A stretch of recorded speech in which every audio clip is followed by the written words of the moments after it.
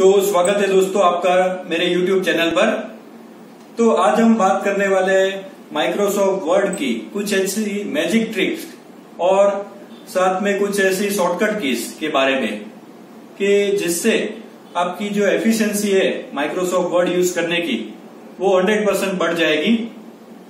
Microsoft word में ऐसी बहुत सारी फैसिलिटीज़ है जो हम नहीं जानते।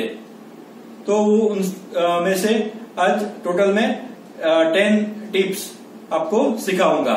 माइक्रोसॉफ्ट वर्ड ऐसी सॉफ्टवेयर है कि हम सब उससे परिचित है, हम सब यूज़ करते ही है। घर में यूज़ करते हैं ऑफ़िस में यूज़ करते हैं, ठीक है? तो हम स्टार्ट करते हैं।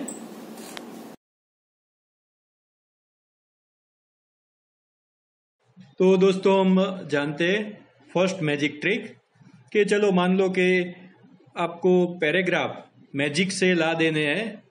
अपने वर्ड के पेज पर। ठीक है, आपको कुछ टाइप नहीं करना है और आपको अपने आप ही पैराग्राफ आ जाए, ऐसा कुछ करना है। तो वो मैजिक कैसे होता है मैं आपको समझाता हूँ। आपको टाइप करना है इज़ इक्वल टू और फिर उसके बाद टाइप करना है एक function R A N D that is random और फिर आपको कितने पैराग्राफ लाने हैं तो मान लो कि तीन पैराग्राफ लाने हैं। और थ्री थ्री लाइंस के पैराग्राफ या थ्री के आसपास तो एक कॉमा लगा के फिर दूसरा थ्री टाइप कर देना है और ब्रैकेट को क्लोज कर देना है। अब जैसे ही आप एंटर लगाओगे तो आप देख सकते हो कि अपने पास अपने आप ही थ्री पैराग्राफ्स वर्ड में आ गए हैं। अब जो दूसरी ट्रिक है, वो है कि अगर हमें कोई भी वर्ड या कोई भी पैराग्राफ सिलेक्ट करना है तो हम कैसे करें? तो एक कॉमन जो टेक्निक है, मान लो कि मुझे यहाँ से सिलेक्शन शुरू करना है तो मैं कर्सर यहाँ पे रख के ऐसे लेफ़्ट की प्रेस करके खींचता जाता हूँ तो हो जाता है। ठीक है? और शॉर्टकट की या मैजिक ट्रिक क्या है पूरा पैराग्राफ सिलेक्ट करने के लिए तो वो है कि आपको ट्रिपल क्लिक लगानी है। कोई भी पैराग्राफ के बीच में आप कर्सर रखिए और फिर one two three triple click जैसे ही लगाते हैं तो वो पूरा पैराग्राफ सिलेक्ट हो जाता है। फिर से करके दिखाता हूँ मैं। सपोज़ ये पैराग्राफ सिलेक्ट करना है तो ट्रिपल क्लिक से सिलेक्ट होता है। तो वैसे ही आपको अगर कोई वर्ड स्पेसिफिक वर्ड सिलेक्ट करना है, मान लो कि एग्ज़ाम्पल है, वो मुझे वर्ड सिलेक्ट करके कॉपी करना है तो मैं डबल क्लिक लगा सकता हूँ। ठीक है? तो कोई भी वर्ड सिलेक्ट करने के लिए डबल क्लिक और कोई भी पैराग्राफ सिलेक्ट करने के लिए ट्रिपल क्लिक का यूज़ हम कर सकते हैं।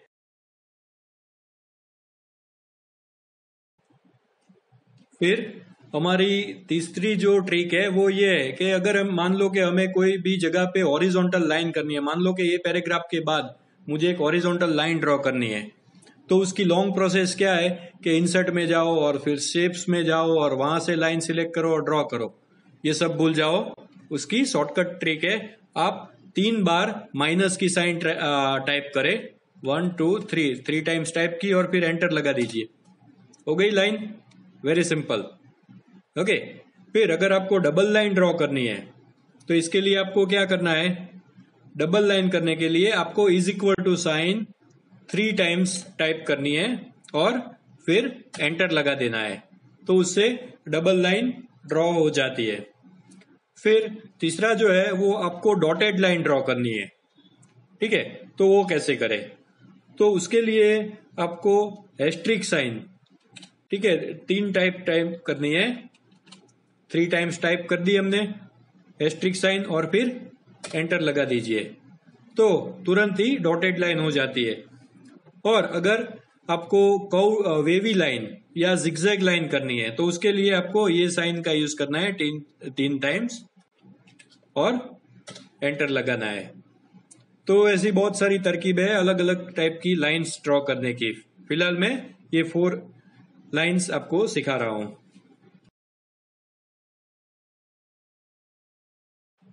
तो हमारी चौथी जो ट्रिक है, वो जूम इन और जूम आउट करने के लिए है। कोई भी टेक्स्ट बुक में ये मेथड दी गई है कि यहाँ पे जूम टूल बार है, वहाँ से हम जूमिंग एडजस्ट कर सकते हैं।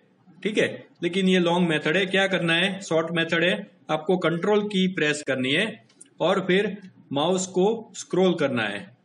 तो आप देख सकते हैं तुरंत ही आप जूम ले, जूमिंग लेवल का सेटिंग कर सकते हैं। याद रखिए कंट्रोल की प्रेस करके माउस को स्क्रॉल करना है।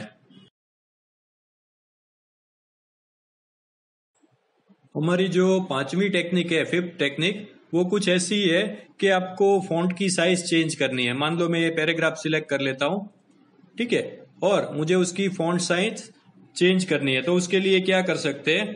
तो कंट्रोल और शिफ्ट को दबाना है और फिर ग्रेटर देन साइन प्रेस करनी है। तो आप देख सकते हैं कि फॉन्ट की साइज़ बढ़ती जाती है। और वैसे ही अगर आपको फॉन्ट साइज़ छोटी करनी है तो कंट्रोल और शिफ्ट आप लेफ़्ट हैंड से दबा के रखिए और फिर स्मॉलर देन साइन प्रेस करिए। तो आप देख सकते हैं, फटाफट स्मॉल और बिग फॉन्ट हम चेंज कर सकते हैं।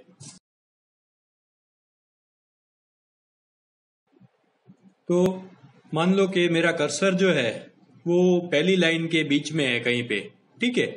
मुझे वो लाइन के एंड तक जाना है। तो अगर मैं माउस से क्लिक करूँ तो यहाँ पे क्लिक कर सकता हूँ। और अगर कीबोर्ड यूज़ करना है तो जनरली हम ये मिस्टेक करते हैं कि राइट हैंड साइड की एरो की दबा के ऐसे मूव करते हैं। तो उसमें क्या है कि टाइम वेस्ट होता है। और माउस से करे तो भी हमारा माउस जो है वो कीबोर्ड से, हमारा हाथ जो है वो कीबोर्ड से उठा के माउस पे जाता है तो टाइम लगता है। तो उसकी शॉर्टकट टेक्निक क्या है? आपके कीबोर्ड पर होम और एंड दो कीज है। शायद ही आप उसका यूज़ करते होगे।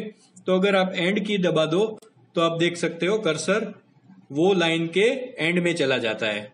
और अगर आप होम की प्रेस करो तो कर्सर उसी लाइन के बिगिनिंग में चला जाता है।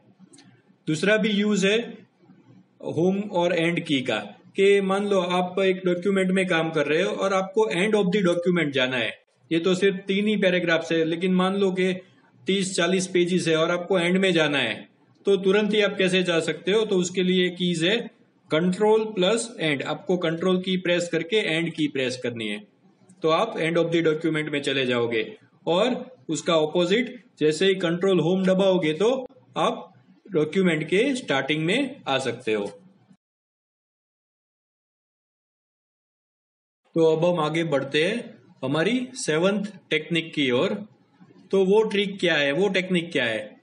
कि मान लो मैंने ये वर्ड जो है, उसको सिलेक्ट किया, उसका कलर रेड किया, उसको हाईलाइट किया, ठीक है? फिर उसका फॉन्ट साइज़ जो है वो थोड़ा सा बढ़ा दिया, उसको बोल्ड किया, इटालिक किया, अंडरलाइन किया और इसके फॉन्ट टाइप भी मैंने चेंज कर दी। इतना सब मैंने किया ये वर्ड के साथ।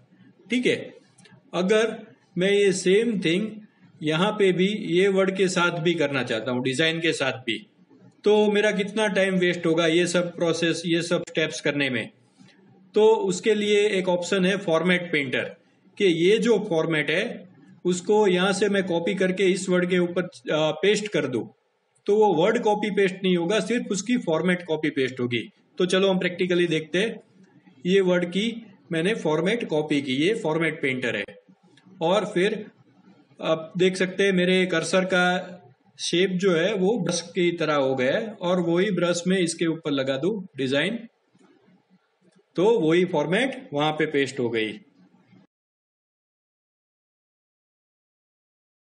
तो हमारी एथ ट्रिक आठवीं ट्रिक जो है, वो क्या है कि हम किसी भी वर्ड का या किसी भी पैराग्राफ का केस चेंज करना चाहते हैं। केस चेंज मतलब उसको ऑल कैपिटल करना चाहते हैं स्मॉल करना चाहते हैं मतलब upper case lower case sentence case ये चेंज करना चाहते हैं। तो उसकी शॉर्टकट की क्या है? तो उसके लिए आपको शिफ्ट की प्रेस करनी है और शिफ्ट की के साथ आपको एफ़ थ्री दबाना है। चलो मैंने ये पैराग्राफ सिलेक्ट कर लिया। अब मैं शिफ्ट और एप थ्री दबाता हूँ। तो तुरंत ही वो कैपिटल हो जाएँगे। दूसरी बार ये टॉगल है। दूसरी बार मैं प्रेस करता हूँ तो स्मॉल हो जाएँगे। तीसरी अब हमारी जो नाइन्थ ट्रिक है, मैं पहले आपको करके दिखाता हूँ कि चलो मेरा कर्सर यहाँ पे है सेकंड पैराग्राफ के फ़र्स्ट वर्ड के पहले। तो हमारे पास एरो कीज है।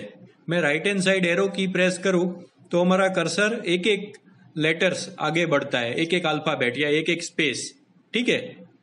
तो मुझे ऐसे करना है कि एक एक वर्ड आगे बढ़े। तो उसके लिए मैं क्या कर सकता हूँ? देखो, अब एक एक वर्ड आगे बढ़ता है।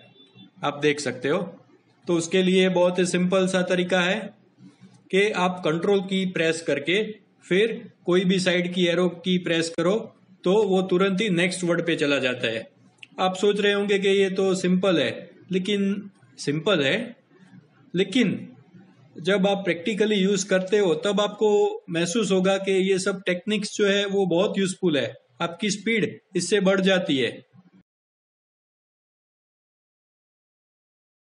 तो हमारी जो लास्ट मैजिक ट्रिक या तो मैजिक ट्रिक नहीं बोल सकते शॉर्टकट की है, वो क्या है कि हम किसी भी फ़ाइल को दूसरे नाम से या दूसरे लोकेशन पे सेव करना चाहते हैं तो यूजुअली हम क्या करते हैं कि फ़ाइल मेनू में जाते हैं, वहाँ पे से सेव एज ऑप्शन सिलेक्ट करते हैं, फिर वहाँ से फोल्डर का नाम सिलेक्ट करते हैं, और फिर फ़ाइल नेम देके सिलेक्ट करते हैं। तो ये तो बहुत लंबी प्रोसेस हो जाती है, छोड़ो ये सब। बहुत ही सिंपल टेक्निक है। हमें क्या करना है?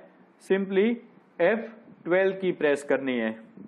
तो जैसे ही हम F12 की दबाते हैं तो तुरंत ये सेव डायलॉग बॉक्स आ जाता है।